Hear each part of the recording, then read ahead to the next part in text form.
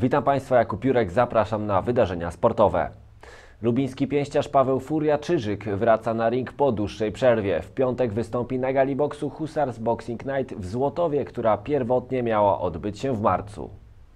Furia wystąpi w Złotowie w walce wieczoru, a jego przeciwnikiem będzie Dominik Szalczyk, który w swojej karierze stoczył jedną walkę i ją wygrał. Walka y, w Złotowie, 24 to jest piątek.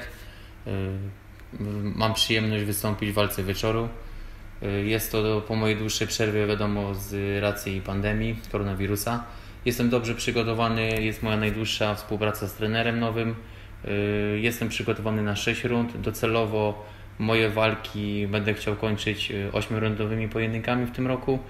Jest to takie przetarcie y, w tym roku i chcę się jak najlepiej pokazać ze swojej ambitnej strony dzięki y, miedziowym rywalizacjom. Gala w Złotowie wystartuje w piątek o godzinie 19. Stowarzyszenie Aktywni Zagłębia Miedziowego wychodzą z inicjatywą wspólnego spędzania czasu podczas trenowania Nordic Walking. Sport wśród Lubinian cieszy się coraz większą popularnością.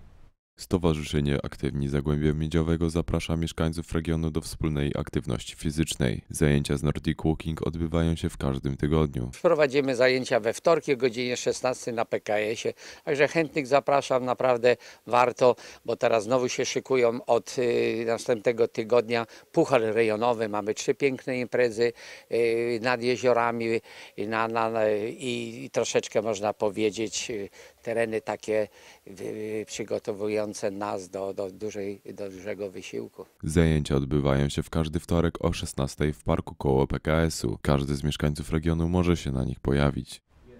Jutro kolejna dyscyplina akcji Lato 2020. Tym razem młodzież zmierzy się z piłką ręczną. Lekcję gry w piłkę ręczną poprowadzi trenerka MKS Zagłębia Lubin. Podczas zajęć uczestnicy poznają różne formy treningowo-sprawnościowe. Gry i zabawy z piłką ręczną odbędą się o godzinie 11 na stadionie RCS. Tą informacją kończymy dzisiejszy sport. Państwu serdecznie dziękuję za uwagę i do zobaczenia.